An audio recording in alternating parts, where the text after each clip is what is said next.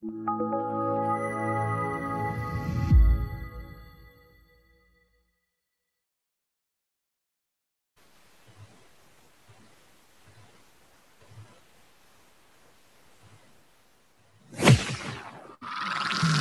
listening to another ambitious Entrepreneur Network.com podcast, the voice for entrepreneurs and small business.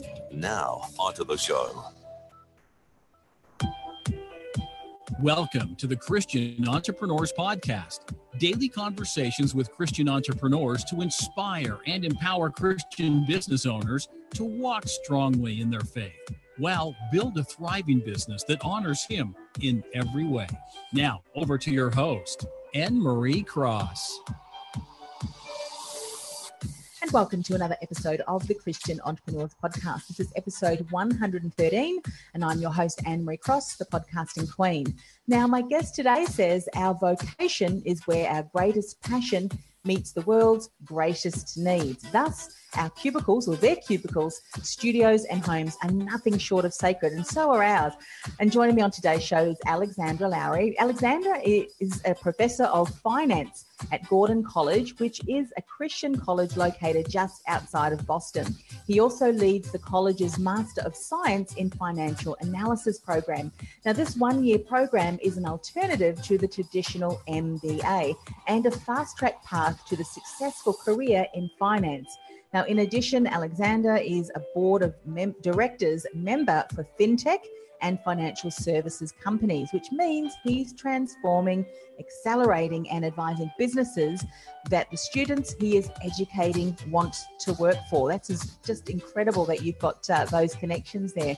Now, on today's show, he's going to share learn whether you need grad school to be successful in your career, understand why everyone defaults to the traditional MBA, but that isn't always the right path for everyone. He's going to talk about hear how God calls people to use their unique skills and talents for his purposes, as well as learning about integrating your work and your faith. Be the same on Monday as you are on Sunday. Absolutely. Welcome to the show.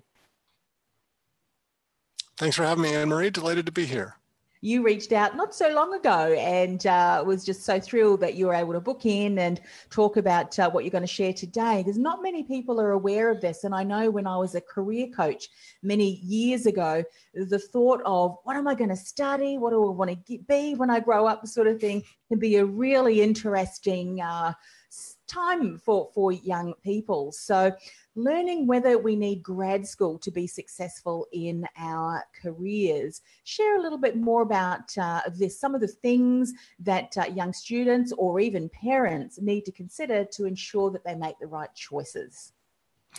Great question. I think there's so much pressure on young people these days. There's a view that I need to know exactly what I want to do with my life. And let, us put it in the context of the bigger picture. What does God want me to do with my life? What is the unique combination of my skill sets and interests that I should be doing? And there, if we go back a generation or two, there's an assumption you probably got one job with a major employer, say like IBM, you stayed there your whole life for 40 years, you got a gold watch and you're retired. And that is just not the norm today for a lot of reasons, right? There's not the stability in the market, but there's also so much more opportunity. There's no longer a stigma for people who change careers a couple times, even reinvent themselves. So one of the things I counsel young people in college days, first of all, you don't need to know what you're going to do when you grow up. I would say, I don't know what I'm going to do when I grow up. And that's partly because I feel like God has me on a path and a journey, and that is growing and changing as my skill sets get refined, as my experience changes. He can put me into different places. Uh, maybe the easiest way to think about it, a lot of people talk about halftime, right? Once you get to about 50 years, you know enough to actually do something else that he can position you for. And the context I put it in is, you know, Jesus basically had a couple maybe three stages of his whole life, right? So the zero to maybe teenage years, he was kind of growing, developing. Then he was beginning to learn and grow and develop in his carpentry world and his professional space. And then 30 years old is when it really started, right? That was mm-hmm. the show for him. That was like 10% of his life, 30 to 33 ish. All the rest was preparation, which sort of tells me the first 50 years are kind of warm up for my whole life. Yeah. Yeah, I love that. And you know, one of the things that uh, I know for a lot of my clients, and I'm sure you get the same with students, is once you speak to them about that or share that, it takes a whole lot of pressure off. And one of the things too, I mean, you we mentioned that you're in fintech, which of course is finance and technology, and there's so many incredibly new innovations going on that we're with a lot of young people, the jobs that they will step into have not even been developed yet. So uh, w- once they, mm-hmm. that pressure is off, it's like, okay, now I can start to really look at, uh, you know, what are some of my interests? What are some of the skills and strengths that I really want to, to develop? Now, you also say, let's talk about this a little bit too. Understanding why everyone defaults to the traditional MBA, but that isn't necessarily the right path for everyone. So, share a little bit about um, some of the things that if, if someone is thinking about an MBA, what should they consider and what other options are there? And this gives a really good uh, lead way into sharing a bit more about your college and the program you offer.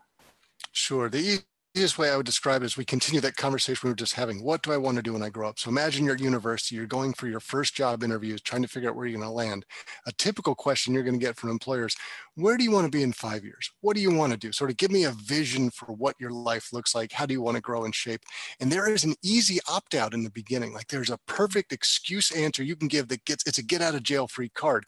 You say in five years, I will be in business school. To which every employer nods their head and goes, Yeah, that makes total sense. It doesn't answer the question in any way, but it buys you time. And to some extent, business school is perfect if you have no idea what you want to do with your career, in the mm-hmm. sense of you've tried a couple things that are interesting, but you know there's a bigger world out there. Business school is wonderful like that for you to explore explore and develop. So let's take my example. I went to Wharton for my MBA. Now I chose Wharton not only is it a top ranked school, but it is clearly a finance school. It has that amazing brain. You say one word around the world, everybody knows it's finance.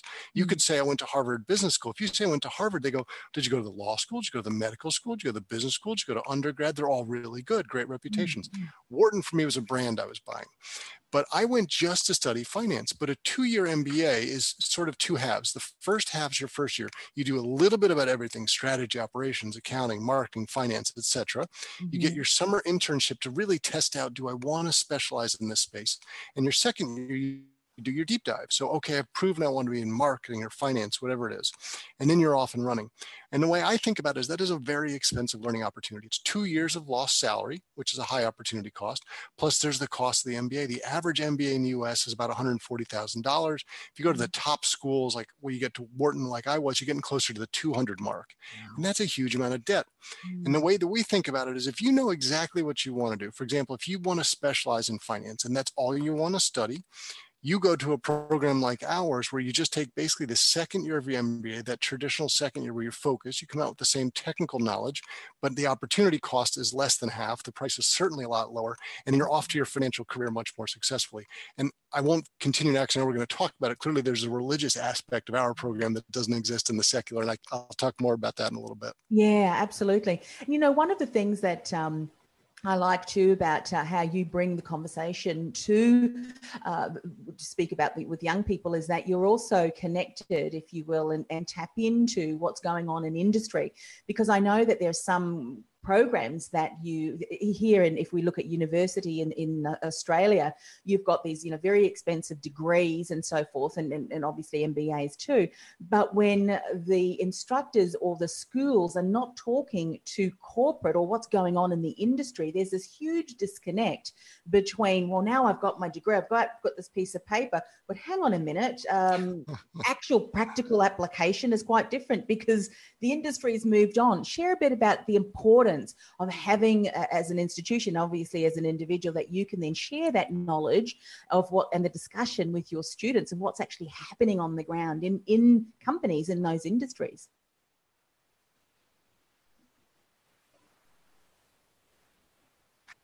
let me put it in perspective so that we think about our educators as two types. So you're always going to have the theorists in academia, right? The people who have studied the books and have lived it for their whole career. But we also have a lot of theorists. And I want our students to have both perspectives on it. So for someone who has been uh, the top ranked analyst to be able to come in, or someone who has led different companies to come in and, and do that teaching, it gives you two views. And I don't know that how you could get by otherwise, just like you said. So let's let's take example. So one of my professors at Wharton, very I won't say his name, but a very well-renowned finance expert in the world, hmm. teaches the efficient market theory. And he will say in class, I know this isn't reality. I know this doesn't exist in the real world. The market is not rational. We don't have a better theory. So we're going to teach it to you to me, that is a huge disconnect between reality and what we're taught in school. That's not a good use of my time and money, I don't think. So, what we want to do is make sure we're connected with people. So, when I think about my job leading our program, there's three parts. So, in the beginning, there's setting it up. And after a couple years, that mostly runs itself. But then there's always finding the right students, really smart, passionate people people who are going to make a difference, bringing them, educating them, and then, of course, getting them the career opportunities and opening it up. If you have the greatest program, bring the smartest students, but you don't give them opportunities to go in the world, especially we're talking about for his kingdom. We want to put people into the marketplace with a Christian viewpoint. It's all been for naught, and there's no point of the program because our perspective is we need more people in the marketplace, not only with ethical thinking, but with a Christian perspective, trying to make that mm-hmm. difference. Yeah, so, so important. So let's dive in then. Hear how God calls people to use their unique skills and talents for his purposes. Easy to say, but when you're actually in the moment, trying to figure it out, a different story. So share some insights around this, please. So uh, maybe we should reflect back on 10 years ago. We were in the middle of the Great Recession, and I think we've all seen the stories, the scandals, the headlines that have come out of that. So I was at JP Morgan before this role. Jamie Dimon classically said the LIBOR scandal, the London Whale, all that stuff, that was a tempest in the teapot. And that was just the beginning of all of the fissures that blew up over time and erupted in these big storms. And the reality is that human individuals are fallible we know that. We're all created to work, but we're all tempted. We've all fallen. We all have issues. And it's so easy to just, uh, for example, I was talking to someone the other day who's a pastor. He used to be a master's in accounting working at Arthur Andersen before the Enron scandal. Enron was his client. He was actually helping them try to figure out in a brand new space, there were no regulations. How do these companies figure out how to mark to market how do they value stuff. And he was literally walking me through some examples he said this was something brand new and every day i would go in and we would make the best decisions we could but the enron guys are really smart and they knew where they wanted us to go. So every day they'd be able to move us a half step in a certain direction before you get, went very long and realized oh my gosh how did we get to this spot from where we'd ever expected to easy to get off track, even for people that are practicing their faith. He was a Christian, right? He's now a pastor. And that's partly about it. I'll give you one example from my career. I was in a boardroom with a CEO. I was a management consultant at this point, a CEO and his top team. And they were going to make a decision that I strongly disagreed with. I thought it was an unethical point of view, but I was the hired gun and I was there to give a strategic view. He went around the room for a final perspective, and everybody were all yes men around his boardroom table. They all said yes, and he got to me. And I thought, how do I get this strong-willed CEO to realize maybe this is not the right decision? All I, can, I decision you're making. Uh, I think he realized that's a different answer than I usually get. And he, he gave me an opportunity to come back to him and say why I felt that way. And I shared my view. At the end of the day, he did whatever he wanted to do. But to some extent, it's my job to be a witness where I can, and you witness in different ways. We need people in the marketplace influencing other people making decisions. Yeah, so true. I remember uh, uh, decades and decades ago when I was still in the workplace, I was working in an office manager management role for smaller companies. So we got an opportunity to uh, work within the, the finance area, but customer service and all of the gamut in between. And this company was experiencing some cash flow difficulties. And the CEO would say to me, just ring our creditors and tell them that the check is in the mail when I knew that the check was not in the mail. so I said to him, because I, rather than no, I'm not going to do that, because no, I wasn't going to do that. I said, how about we do this? I said, we want to build a relationship with these creditors, an ongoing one, because they're our suppliers. So I will ring them and let them know that we're struggling and that we want to pay this off. So that's what I did. I, I had the conversation with each of them and I said, every week I will put a check in the mail. And if it's not going to go, and this is how much it's going to be, and if it's not going in the mail, I will personally ring you and let you know. And you know what? They were really happy with that. And if the check wasn't going in the mail, I would ring them up and they were happy with that. So, as you said, there's always a way to approach that uh, a situation which really goes around your you know against your values in a way that uh, everybody can uh, can move forward so i think that's just so very important let's talk about learning to integrate your work and your faith. I think we touched on this a little bit, but I think for some people, it's like, all right, now I need to put the Sunday face on. Right, Monday comes and it's a completely different uh, approach and attitude. Share some insights around this, if you would.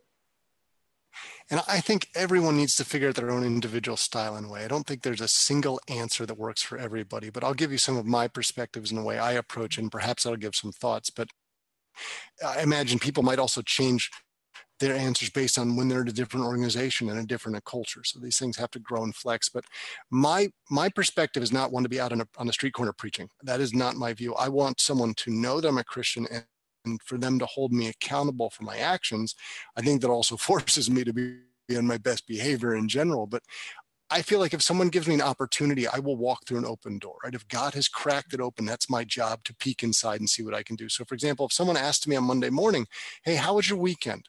I will tell them the typical weekend stuff. I did this with my family, I did that. And on Sunday, I went to church.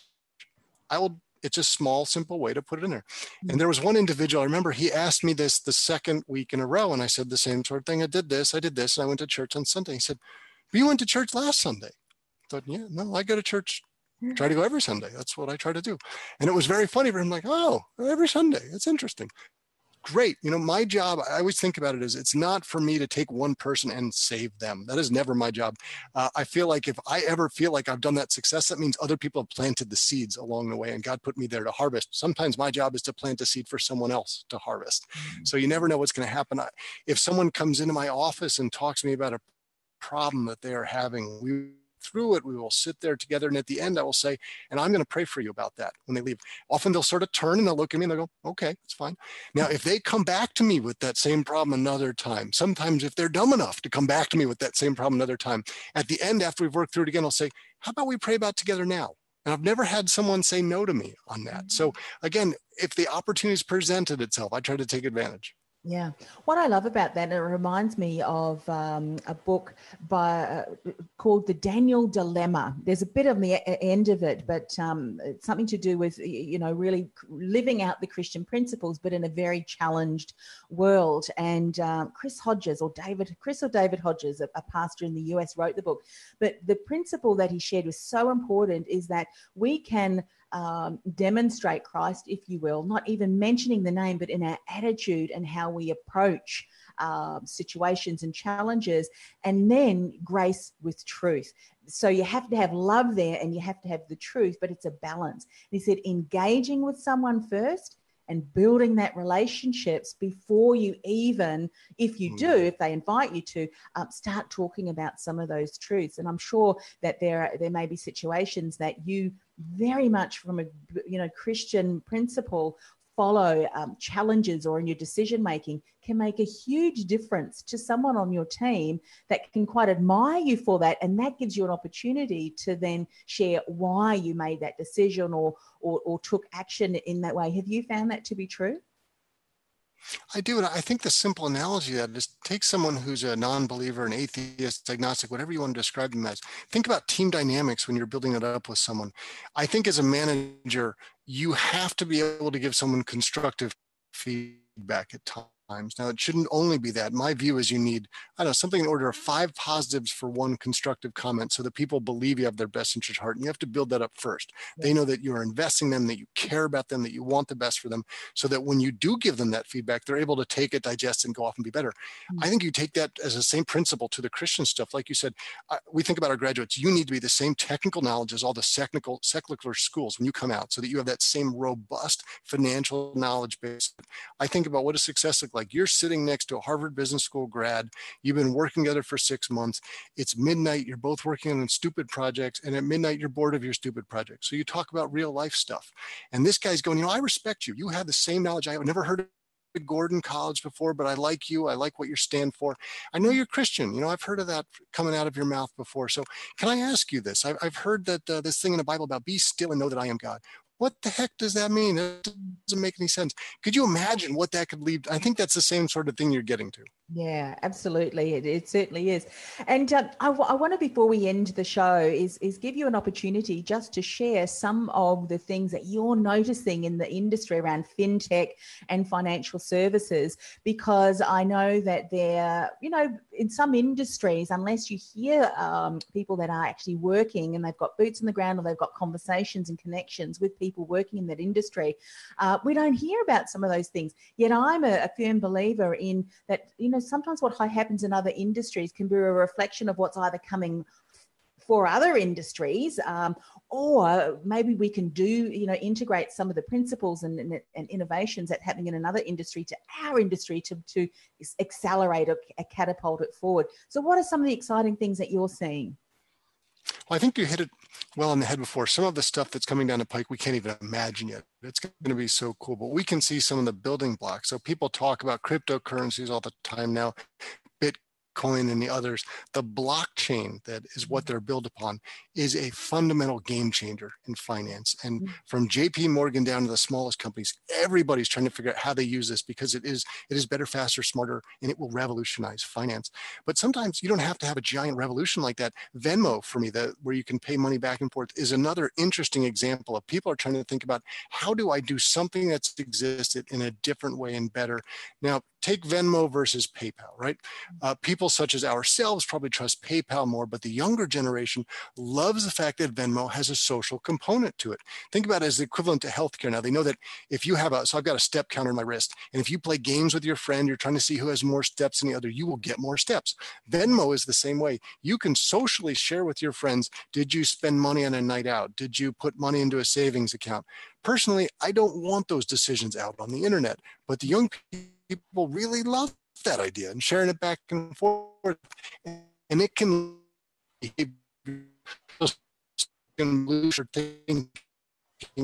how do we take best practice in other industries and bring that together with finance, package it in a way that's better for the market? So when you think about entrepreneurs listening to this, Steve Jobs, I think, was a great example. You didn't have to be first to market. You just had to have the best mousetrap. Can you redesign some of what's going on there to make it more appealing and easier in access to consumers? Yeah, interesting that you mentioned about uh, Venmo. It, that it, what you just described is, is like gamification, isn't it? Where um, there's certain aspects mm-hmm. that, um, and I just recently spoke to a gentleman who was into micro learning, and he was saying that when you include gamification in the micro learning aspect, it's going to compel people to want to to study, particularly if you add points to that that's shared, because everybody likes to know, oh, I'm going to get so many points when I mm-hmm. complete a task or completed training and, and so on. So it's interesting, as I said, to, to see what other industries are doing because sometimes, as you said, you can take some of those uh, things that are working really well, particularly when we're thinking that there's a lot of millennials that are not only going to enter the workplace, they are also our consumers. How are they buying? How are they looking at, um, you know, th- when you look at the purchase decision, what are some of the triggers that really are important for them? And uh, I think, you know, um, um, having yourself as someone who interacts with them on a daily basis, who you are going through the program. I mean, we can learn a lot uh, fr- from that. So share with everybody who's listening today. And I do apologize. Every now and again, the internet uh, drops out a little bit, but not uh, the key points are, are, certainly coming across. But just share, if you would, Alexander, a little bit more about um, the course and Gordon College. How can people get in contact with you to find out more about uh, the offerings that you have? Sure. So the website is gordon.edu slash grad finance, and it's a one year master's in finance program at Gordon College. And the view for what we've talked about is there's three parts of why we did it. So we talked about versus a traditional MBA in that fast track. Another main part, of course, is the fact that we think it should be the Christian perspective instilled into the market versus the secular schools that all will have one ethics course. I had one at Wharton, so they feel like that covers it all. For us, this is part and parcel of the curriculum. The other part is access to Boston. So when you think about finance hubs in America, New York is clearly number one. San Francisco and Boston are very close for number two. Which means you have access to all the leading firms that are based up here. And we think those combination together really makes it a compelling program. And our perspective is we want to take people, some of whom have never studied finance before, maybe they have quantitative abilities like physics majors or math majors, or I was a history major in college, but I studied what I loved. Those people, and it's sort of a refining program for them to get them ready.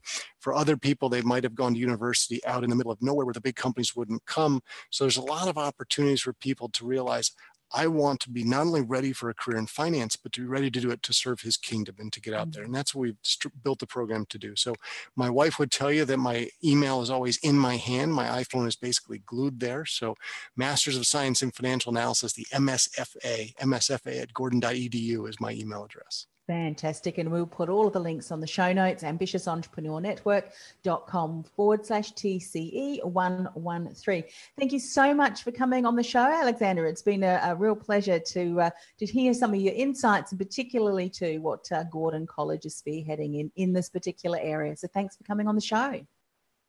Thanks, Henry. I enjoyed it. You've been listening to the Christian Entrepreneurs Podcast, brought to you by BeTheDifferenceMovement.com. Changing the world one message at a time. Do you feel called to influence real change with your message? Join our supportive community of like minded influencers, thought leaders, and disruptors at www.bethedifferencemovement.com. That's bethedifferencemovement.com.